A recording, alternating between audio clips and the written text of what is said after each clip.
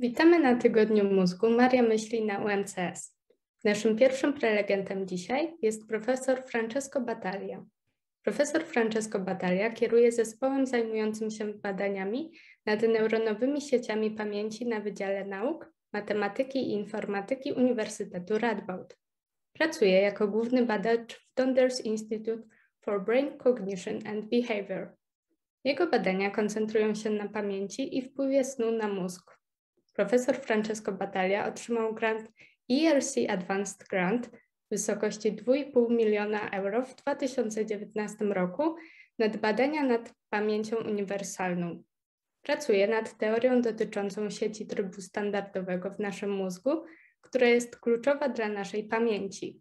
W ramach konsorcjów Enlightenment i NeuroSeeker finansowanych przez Unię Europejską wraz z zespołem opracowuje narzędzia nowej generacji do nagrywania zespołów neuronowych na dużą skalę oraz do połączonej zamkniętej pętli optogenetycznej stymulacji obwodów neuronowych. Profesor Battaglia przedstawi wykład zatytułowany Oscillations Neural Codes – How Our Brain Areas Talking to One Another. Zapraszamy do zadawania pytań, na które profesor Battaglia odpowie po wykładzie. Życzymy miłego słuchania. Welcome to the Brain Week Maria Thinking at UMCS. Our first lecturer today is Professor Francesco Battaglia. Professor Francesco Battaglia leads the research team on neuronal networks of memory at the Faculty of Science, Mathematics and Computer Science at Radboud University. He works as a researcher and principal investigator at the Donders Institute for Brain, Cognition and Behavior. His research focuses on memory and the impact of sleep on the brain. Professor Francesco Battaglia received an ERC advanced grant of 2.5 million euro in 2019 for research into a universal memory. He is working on a theory about the standard mode network in our brain that is crucial for our memory. Within the EU-funded consortia Enlightenment and NeuroSeeker, he and his team is developing next generation tools for large scale neural ensemble recording and for the combined closed loop optogenetical stimulation of neural circuits. Professor Battaglia will give a lecture on oscillations, neural code, how our brain areas talking to one another. We invite you to ask questions, which Professor Battaglia will answer after the lecture. Enjoy listening. Yes.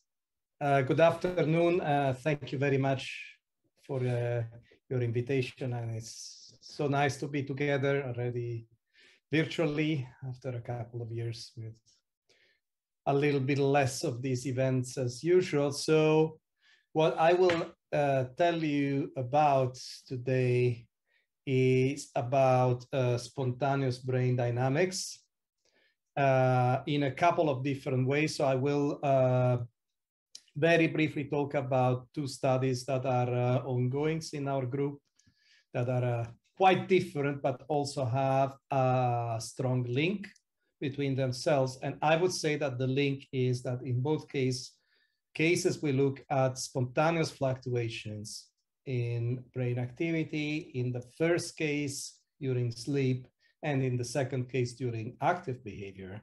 So spontaneous activity and spontaneous fluctuations are very important for our uh, cognitive function. So we have from early psychology and early neuroscience this idea of the brain, as we would say, as a feed-forward system, so that here comes a sensory input, and there is a series of processing stage and some output, some decision, some behavior. I would say that instead there is, of course, massive evidence that much of cognition is internally and spontaneously generated. And that is what we set out to do. And so the perception of the outside world, rather than being an input, I would say it's a modifier to this internal dynamics. And the outcome of perception is determined by this internal dynamics. So most of my uh, research have been focused uh, between uh, on the interaction between uh, the cerebral cortex and the hippocampus. And so let's talk a little bit about these two brain structures. So um, the hippocampus is a primitive cortex. So it's, let's say, the first one that has been evolved in the in evolution. So birds and reptiles have hippocampus-like structures. It's also a layer structures, which means that neurons come in very neat layers, but there is only one cell layer in the hippocampus. Uh, and it is organized in gradients. So if you look at the rodent hippocampus, it looks more or less like a sausage. So we call the long axis of the social uh, sausage dorsoventral. And you have more axes. And you can see that along this axis, there is a continuous variation in the properties rather than a subdivision in areas. Neocortex is the newer part, I mean, from the phylogenetic evolutionary point of view of the brain. Uh, it's mostly a mammalian uh, thing. It's organized in by modules, more or less discrete, it is relatively homogeneous, even though it represents in humans the large size uh, of the brain. And it's scalable, which means that with just the upregulation of a few genes, we could move from uh, uh, the macaque to the chimp to the human brain, which is massively larger by scaling up the uh, surface of cortex. So if you are interested, as I am, in memory in particular, so both of these areas are uh, involved in memory. And in fact, so we talk about the dual memory systems hypothesis. And that comes initially from the lesion literature. So if you look at patients that are brain lesions, so, and if you see a patient with a hippocampal lesion, you will see, for example, that they cannot form new memories, but they will retain memories about the past and in particular about the remote past. A lesion in the neocortex may provoke also an amnesia, so loss of memory, but on with a very different profile. Maybe you lose the remote uh, memory, maybe you lose the memory for certain types of items and not for others and so on. So to explain these results, so this was a seminal paper from now 27 years ago by McClelland, McNaughton, and O'Reilly. And they, they said, well, yes, there are two boxes, essentially. There is a hippocampal boxes and there is a neocortical boxes. And when you learn a new memory that is mostly first images in uh, storage in the hippocampal system, then gradually it becomes transferred to the cerebral cortex. And this goes through this arrow here that is here is labeled with the C and the C stands for consolidation. So the memory consolidation process, which is uh, a big subject to study. And so to rephrase this, so we would say that the hippocampus makes a snapshot of an episode and then these ep episodes gets analyzed in different sub circuits that may be part in the hippocampus and part in cortex. According to, uh, they would look at different information uh, according to different computational principles. So for example, you would have the visual aspect of an episode seen from the point of view of movement, of color, and so on. And so these need to be put together and to put them together so you need to make a unitary memory. However, the cortex is a slow learner. And the way it can learn is because the hippocampus acts as a sort of instructor which rehearses continuously during sleep, for example, memories in what we call memory replay. And this arrangement is quite important because it might be instrumental to avoid overload of uh, memory by too much, too fast learning, which would cause catastrophic interference. So in this talk, we will talk about uh, bidirectional information between the entirety or almost of the neocortex, the role of an oscillation that is the slow gamma rhythm in this exchange in the hippocampus. And then we'll shift gear, we'll talk about temporal codes in the hippocampus, and we'll see that the same oscillation plays also a key role there. So let's start from memory replay. So replay is part, maybe a big part of what our brain does while we sleep. So during sleep, we have a lot of activity and essentially is the repetitions, the spontaneous repetition of patterns of activity that reflect previous experience. And that may allow memory consolidation, so the stabilization of memory, the transfer of memory to cerebral cortex, um, to uh, gradually uh, arise. And this uh, consolidation happens uh, in a very precise dynamical state, which is quite different from what you see during active behavior. So you probably, many of you have heard about place uh, cells. So the cells that have a, uh, that activate when you are at a certain point uh, in an environment. For example, you can have a rat running on this track and you see that while when the rat is here, so the red cell will activate and then here the yellow cell activate and then the green cell activate. And so if you look in time, you see this neat sequence of red, yellow, and green, right? And this happens during these oscillations that you see in the, the hippocampal dynamics that are called theta oscillations. That is the steady oscillation at about eight hertz, which is about the largest local field potential. So the last largest electrical signal that you can see in a healthy uh, rodent brain. When you go to sleep, so the activity changes a lot and you don't get the steady oscillation anymore. You get what we call sharp wave ripples that are sudden bursts that happens at nearly random times. And during these random times, what you see is the replay, for example, of the same sequences that we see during active behavior. So you see that it's the red, yellow, green cells that activate in the same order. However, they activate on a much faster scale. Okay.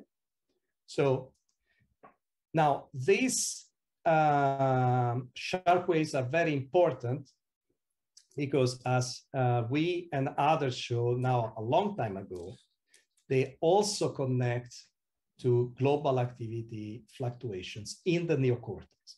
And so the idea is that sharp waves may actually act as a way to transfer information to the neocortex. And how does it transfer it? Well, it's actually quite complex, right? Because the hippocampus is at the top of a hierarchy of cortical areas. So this is a very famous diagram by Felleman and Van Essen, uh, where they all the visual areas in the macaque and look how many there are. And you see that the hippocampus is connected to the cortex. However, it is connected only uh, indirectly with most of the areas. Okay, so then if we need to make a global memory that actually involves many of these areas, how can you go about? Well, it turns out that there is a layer of areas in the brain that is quite connected to the hippocampus and might be the first mediator of uh, information between the hippocampus and the cortex. So this is a network that has been described uh, in the neuroimaging literatures that we call the default mode network. Why is it called like that? Because it's actually the network that is deactivated when you do something active. Okay, so it's more active in the default mode when you just sit there in an idle fashion.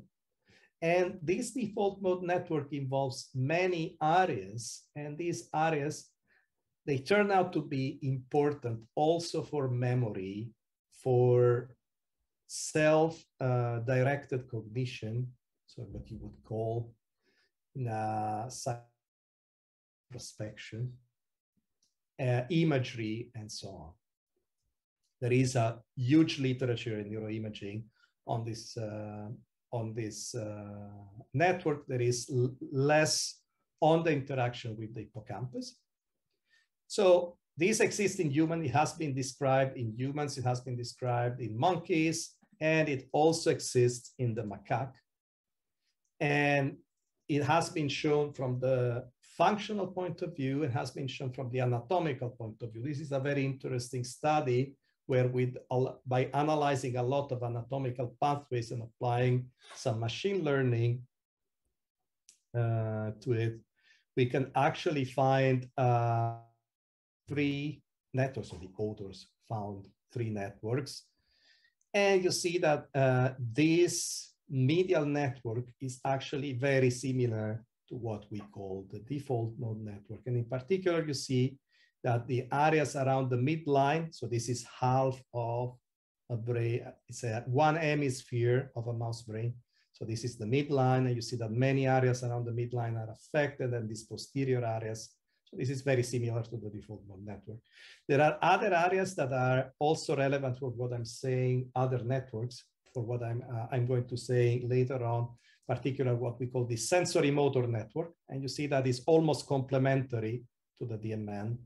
And this lateral network, which I will tell a little bit less about. So let's start by saying, and this we showed in 2009, that for example, in medial prefrontal cortex, we do see memory replay and memory replay is coincident with hippocampal firing. Uh, and other areas in the default mode networks are also likely to be involved in replay in a heavy way. So, so this is fine, but then, so how do these areas in the DMN interact? So what's the dynamics and how do they interact in the hippocampus? So to uh, answer these questions, we set up uh, a series of experiments with my PhD student, Rafael Pedrosa. So this is a preprint that has just been published last week on bioRxiv. And here we did, uh, we have two data sets. So one data set is under anesthesia, so with urethane, which produces a sleep-like anesthesia state. And then we have actually natural sleep. And we do what's called voltage sensitive imaging. So which means that by adding a molecule to neurons, we can make them fluorescent and we can make the fluorescent be an index of the membrane potential, so the activity level. And this is done in two different ways. So with a chemical, so dye, and also with a genetic in the two data set. Then we have a probe that records electrical activity in the hippocampus. And in the anesthetized data set, we also record with a transparent grid of electrodes, uh, electrophysiological potentials from the cortical surface. Three different modalities in uh, brain activity. And so what, if you do that during sleep, so what you see is that the brain tends to be inactive until the point where you still you see transient activation. So you see, for example, here this yellow bubble here in time is a bubble of activation. And then you wait maybe a couple of seconds and here's a little bit more. And here there's a larger one after three seconds and a half and so on and so forth. So this is what you see mostly during non-REM sleep. REM sleep is very different and I don't have the time to talk about it today. So if we make the statistics of the sizes of these events, so what you see is a peculiar type of distribution, which is approximated by a straight line if you are in a log-log scale. And you probably know that this kind of uh, shape corresponds to what is called the power law distribution.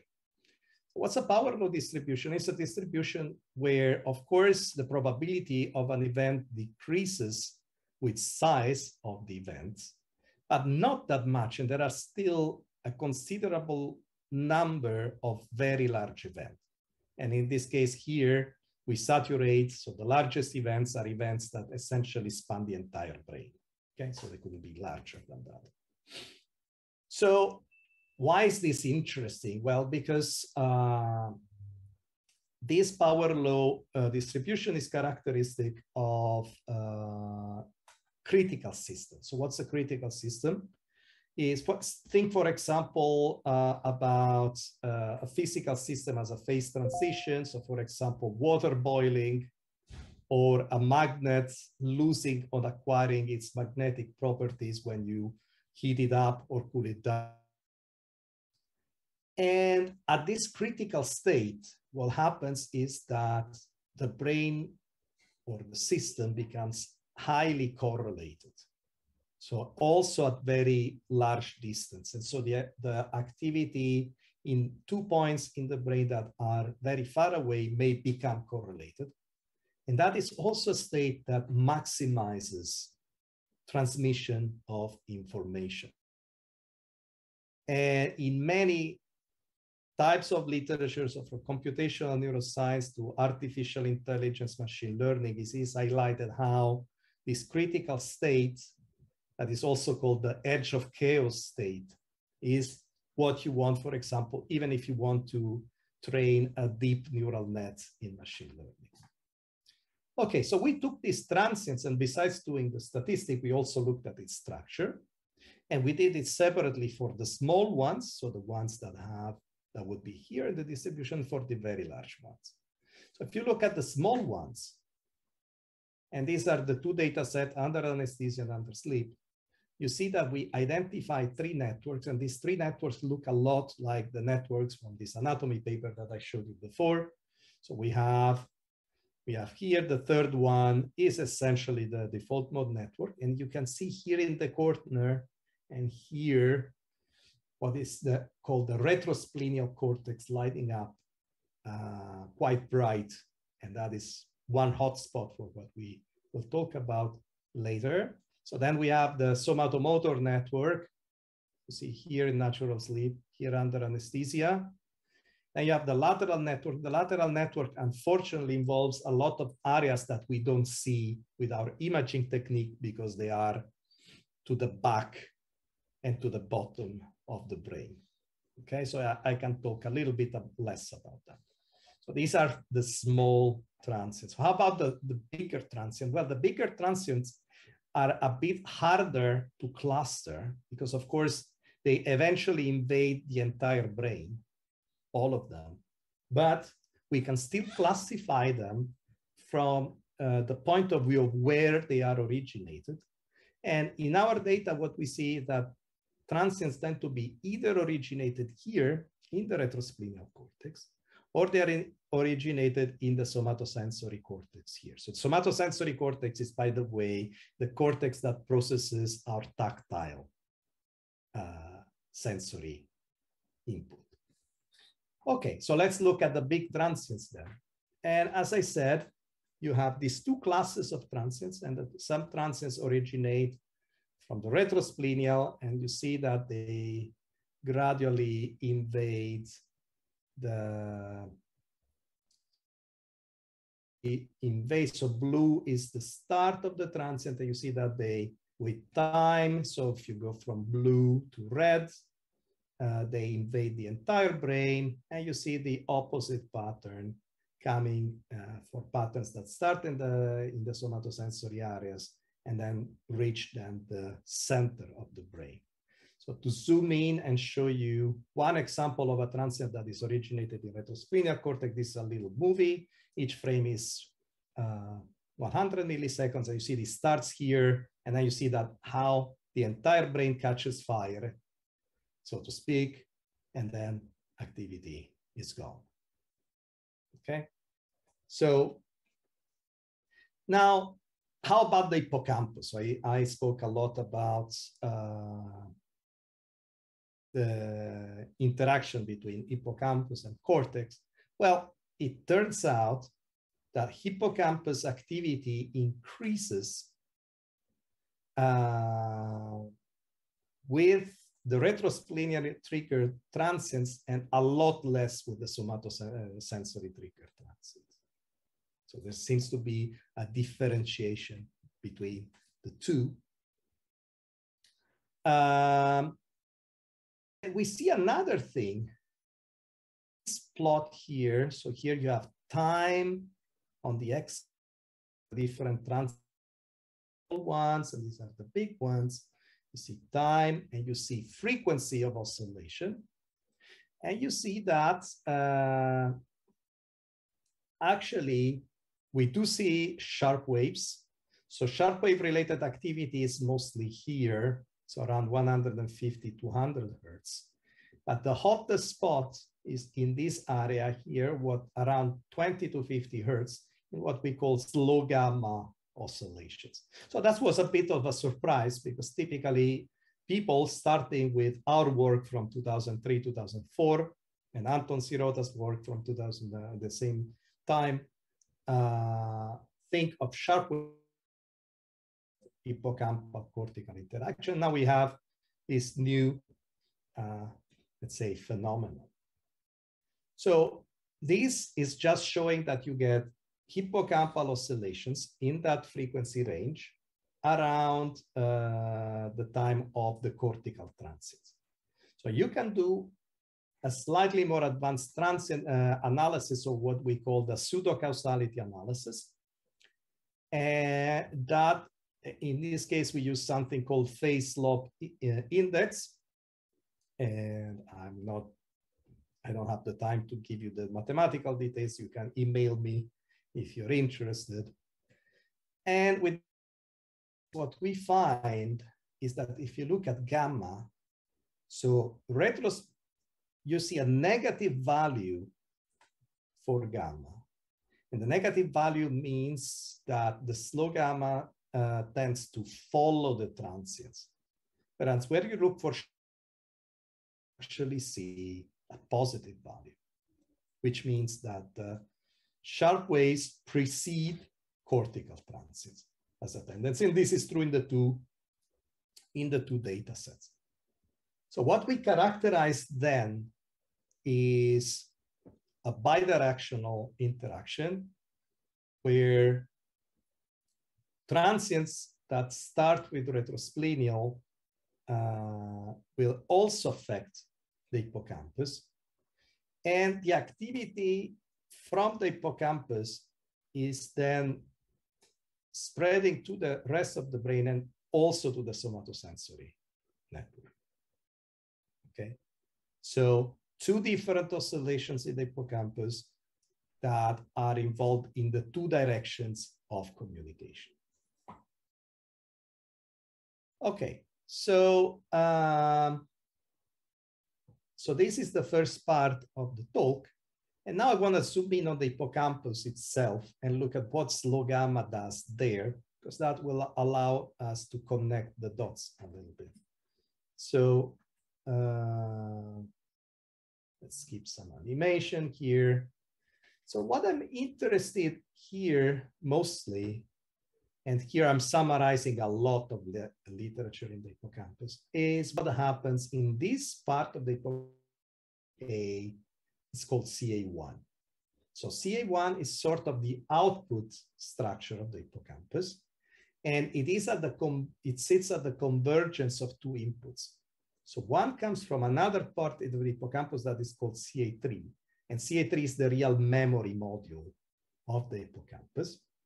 And the other comes from the neocortex, from what is called the entorhinal cortex. And that goes through what is called uh, and that go goes through another projection called the perforant path. So CA1 neurons are sort of the uh, switchboard that switch between these two different inputs.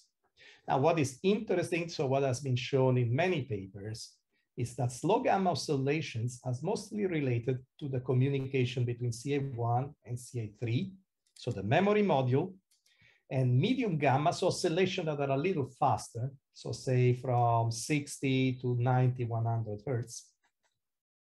So this oscillation actually are related to the uh, new inputs coming about new information about the external world coming from the uh, from the neocortex, from the cerebral cortex. Okay, and if you look in time, you will see the amplitudes of the slow and medium gamma two fluctuates, and at some points slow gamma will win. At some some points, medium gamma will win. So to analyze these processes, so my student Matteo Guardamagna uh, developed this micro drive for the so you see this funny hat, and in the funny hat there are these electrode called tetrodes that can record many neurons from the hippocampus. And you have these LIDAR probes that give you a very detailed uh, idea of the local field potentials in the different layers of the hippocampus. Okay, so what we've done with that is then to look at place cells and to look at rhythms in the hippocampus. So first the theta rhythm, so this eight hertz oscillation. And this is very important because phase precession, uh, so theta is actually shaping the uh, temporal course of the spikes of, uh, of place cells. So you see here you have a mouse and the mouse is running on a track and here there is the place field, so the place where a certain cell becomes active. And look at this cell is doing. So we are we superimpose the theta rhythm. So it started firing here. Let's say what we call the ascending phase of the of the cycle. Then in the next cycle, it fires a little bit earlier in the cycle, and then earlier, and then earlier, and then earlier. Okay, so it is a phase, the phase goes back, or we say the phase has a precession movement. Some cells will do that, whereas other cell cells will tend to be locked to a certain phase. So, and always fire at the same phase. This is a very different arrangement from the temporal point of view. I will explain why this is important in a little bit. Now, if you look at, so what is the pattern? So are cells uh, precessing, are cells uh, locking? Well, it turns out there is a little bit of everything. Some cells are more precessing, some cells are more locking, a cell, if it has multiple place fields, can also be precessing in one field and locking in another field.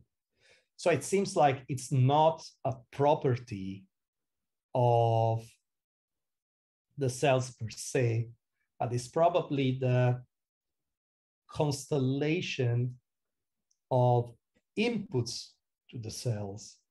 So that particular combination that will make a cell precess or lock to theta. Okay?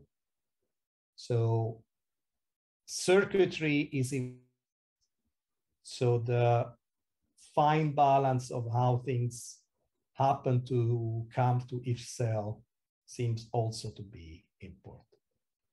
So how about now the gamma oscillation? Well, the gamma oscillations, as I said, fluctuate and sometimes slow gamma oscillates and sometimes medium gamma. Uh, so some slow gamma prevails, sometimes medium gamma prevails.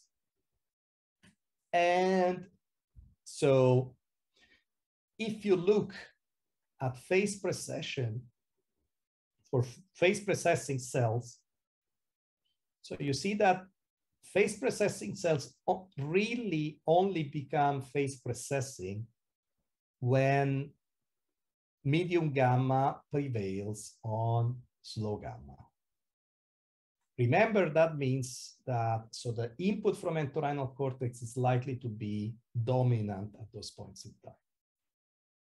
So when, so here, so you see this pattern. So this is place on the x-axis, this is theta phase, and you see that there is here, so this uh, line here. So there is a the, there is a correlation between the two, and that is the, a negative correlation, and that is the size of phase precession. However, this is lost when you look at phase locking cell, they don't have it at any point, and it's lost when you look at uh, periods with a stronger slow gamma.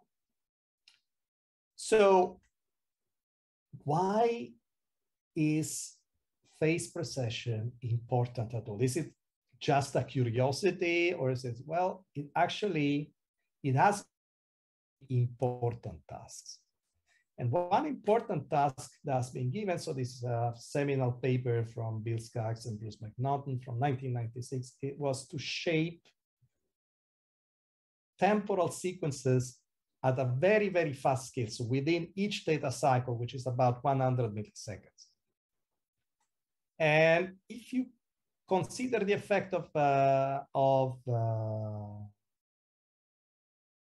of phase precession and you combine multiple cells, well, the idea, what you get is that then you get little sequences within each theta cycle, ABC, ABC, PCD, BCD, CD, blah, blah, blah, blah, that recapitulate on a compressed time scale what happens on a much longer time scale because now for the rat to transient or the mouse to tra transit through this uh, track, it may take maybe one or two seconds.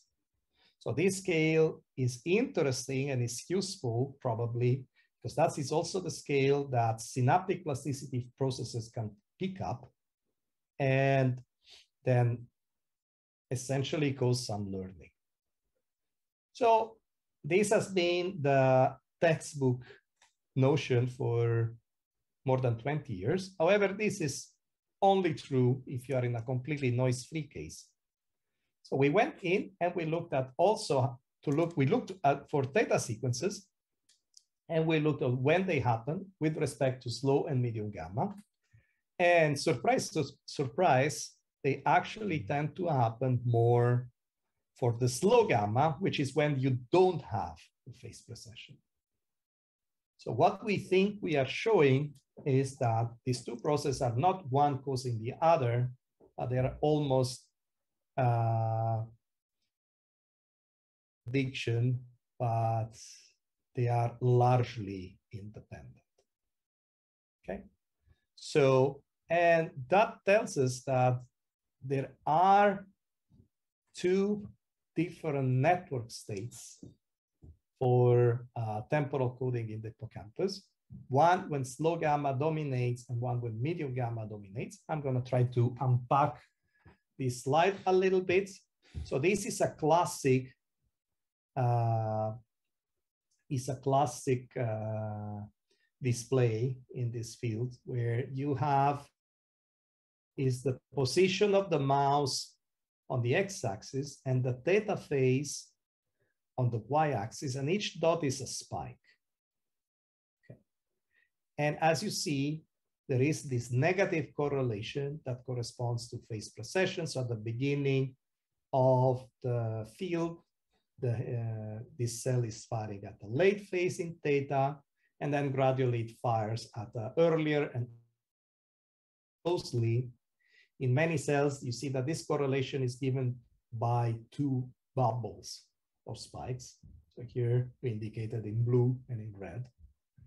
And likely the blue bubble is uh, related to CA3 input. And uh, this bubble here is related to the cortical input. So again, so is retrieving memory. So this CA3 is doing two types of work. So first is retrieving memory and, and second is trying to anticipate where you're gonna be next. For example, here you are of these T-mazes, you are here and the, the hippocampus is trying to predict whether the mouse will go to the left or to the right, okay? During slow gamma, so the entorhinal input, so the cortical input is suppressed. So you only have the sequences that are generated in CA3. And you only have memory retrieval. When the new input comes from the entorhinal cortex, that has the effect of actually disrupting this neat sequential order. You see here, so you get this nice C, D, E, F, then the, the, the mouse is here, so suppose the mouse is in D, is also simulating this other path, C, D, G, H, and then again C, D, E, F. So it's uh, it's doing it's doing what are called virtual trials and errors. And this becomes disrupted during the periods in which medium gamma dominates. So you have essentially a state for the hippocampus to absorb new inputs, and you have a state for the hippocampus to independently process uh, and uh, it's the information it has already stored and make predictions about the future. In conclusion, so spontaneous dynamic rules, I would say, uh, and the fluctuations in spontaneous dynamics influence the current computational mode. So, uh, and fluctuation take place both at the mesoscopic level, first part of the talk, during sleep, microscopic level, so the level of single cells. So the connection between the two studies is the slow gamma. So I said slow gamma is related to the retrieval of information from this memory module called CA3. And what the first study suggests is that the activity from the cortex may bias what the hippocampus will retrieve. So which memory item will be retrieved. So as uh, my colleague Anton Sirota says, so the cortex is a student and the student is asking questions to the teacher, that is the answer. And we need more work to, uh, to uh, uh, connect these two levels. So let me skip this. So acknowledgement to Rafael and Matteo, to Federico Stella, who is the main computational person uh, behind uh, this all uh, work. And uh, so this is our group. And uh, so thanks a lot for your attention. And yeah, I'm ready to take some questions. Thank you for such an interesting lecture. And now we have, have some minutes for questions from our audience. So once again, we invite you to ask questions which Professor Battaglia can answer. And the first question from the audience is, have you investigated which environmental factors would influence the gamma oscillation most? And are similar effects observed in the human brain? Uh. Okay. Um, so these are very interesting uh, questions, of course. So uh, I I have not. So there are studies in the literatures that show that when you have uh, when the so in our experiment the mouse was just running back and forth. So now without any specific task. You have the mouse that is running on the on the track, eating a little bit, going to the other side, eating a little bit, and so on. So if you ask the mouse to, for example, remember something, so like, should I go left or should I go right? Then you see compared to the medium gamma. So because it's not, I wouldn't say it's an environmental factor, but it's a question of cognitive uh, uh, demands. Whether it happens in, uh, humans, the answer is yes. So the evidence is a little bit more limited. So here to see gamma in the hippocampus, you need to have an typically only happens when you have a patients that are implanted, for example, because they are epileptic. So they need to uh, receive an implant to find out where the epilepsy comes from in the brain. So there are gamma oscillations, there are sharp wave ripples. This has been uh, shown quite recently. However, so the distinction between slow and fire medium gamma hasn't been explored as much as in uh, in rodents, but I be inclined to say that it's likely that something similar will happen there. Okay, thank you for your answer. And we have some more questions for you. And the second one is, are animals bilateral or have you seen some preferences to one side? Okay, um, so there is a tradition in the hippocampal field to always imply to the implant to the right side.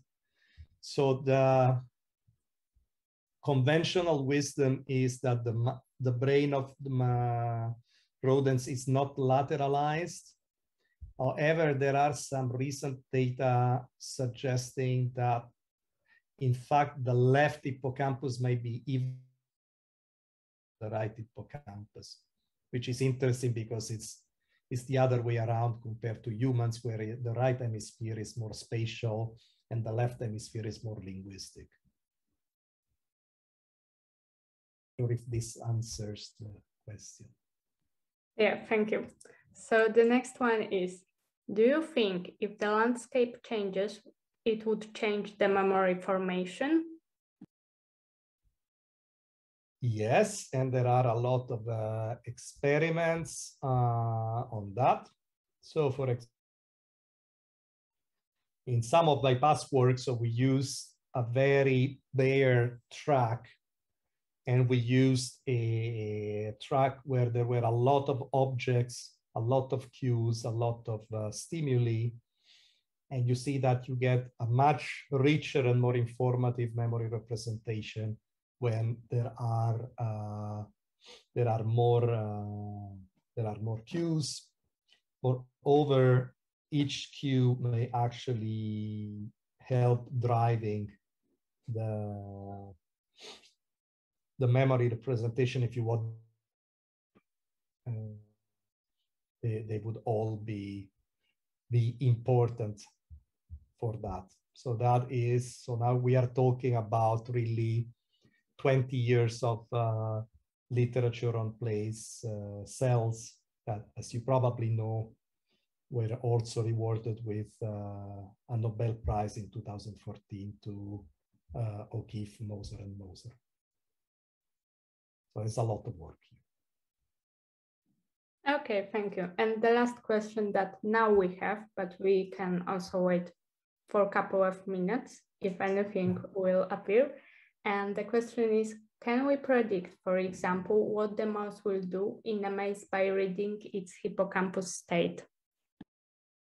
Yes, we can. And uh, so that has been done, for example, by the group of uh, David uh, Foster.